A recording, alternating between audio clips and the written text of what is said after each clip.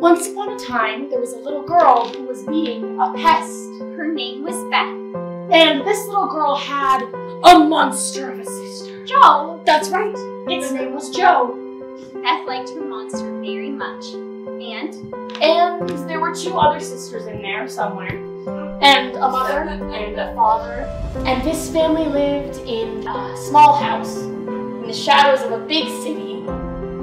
Outside the city was an even bigger country. And that country went to war. To war with itself, yes. But even though the father went off to fight, that was hard. Even if the world split apart, together that girl and her monster, they were whole. What happened when they grew up? Well, in this story, they never grow up. They just stay the same and it lasts forever. Nothing lasts forever. Tell it again.